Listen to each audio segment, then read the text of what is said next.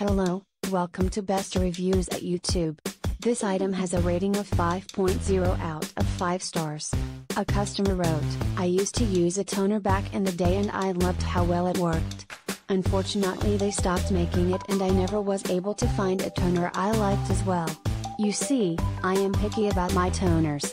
I do not want a toner that leaves your face sticky or tacky after using it or it leaves the oily residue behind.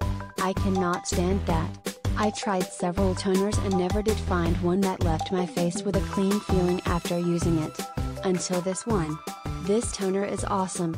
It has apple cider vinegar and rose water as the main ingredients. With other good ingredients in it that help with blemishes, acne and inflammation.